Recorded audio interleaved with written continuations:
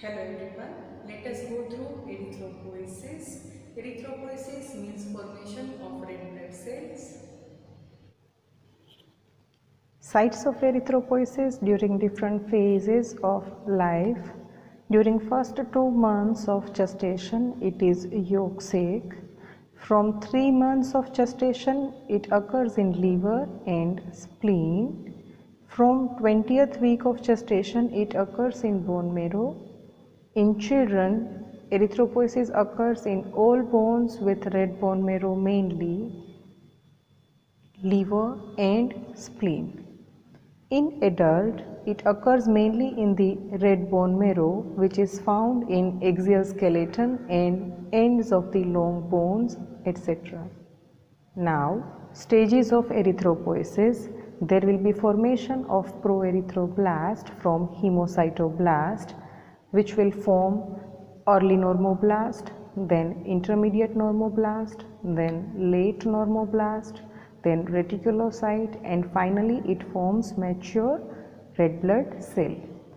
During different stages, as the stage advances, there will be reduction in the size of the cell.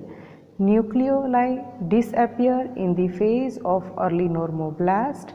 Hemoglobin appears in the phase of intermediate normoblast and mitosis stop at late normoblast stage.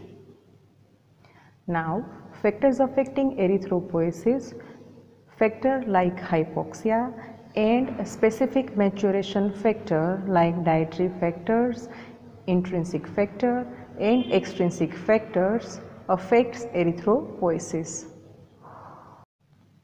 Now, let us see how hypoxia affects erythropoiesis. Whenever there is a hypoxia, there will be release of renal erythropoietic factor from kidneys and release of erythropoietinogen from liver which causes formation of erythropoietin. This erythropoietin acts on erythropoietin sensitive stem cell and causes more and more formation of proerythroblast. Different maturation factors like dietary factors, proteins, iron, vitamin C, calcium, etc. are required for hemoglobin synthesis.